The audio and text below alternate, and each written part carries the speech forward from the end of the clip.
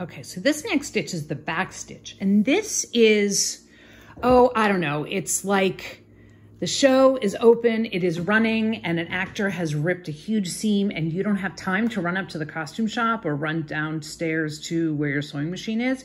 So you're gonna do a quick back stitch, which is much more secure stitching.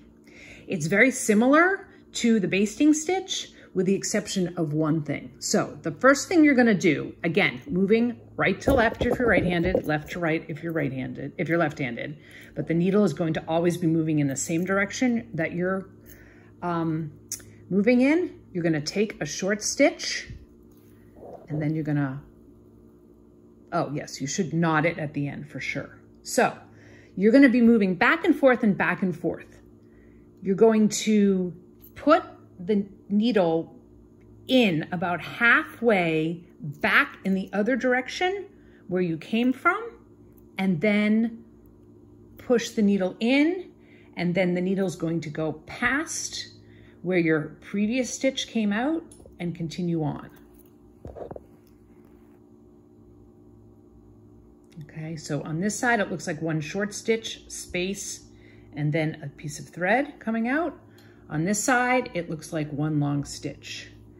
Then you're gonna go back again to where you just were, putting the needle as close as you can to that previous uh, exit point, the previous place where the needle came out.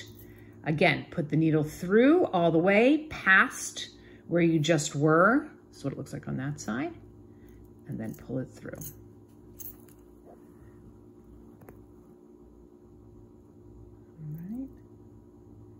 Needle in at that same hole, past where you were, pull it tight. And what you're gonna see, if I do this right, haha, is that the, the stitch looks almost like a sewing machine stitch in that you see each individual stitch um, and they're butt up next to each other, end to end, like on a, like in a sewing machine stitch.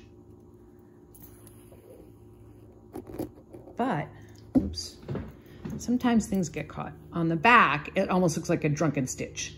It looks like a little wobble back and forth, back and forth, back and forth, because they're really overlapping. And you can just continue on. Oh, no, can you see? Sorry, strange angle.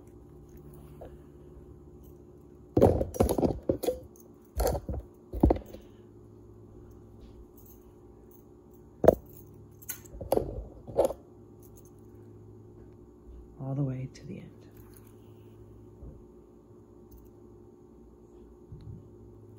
Don't rush this because it starts to get very sloppy if you do. I'm going to take your time on this one.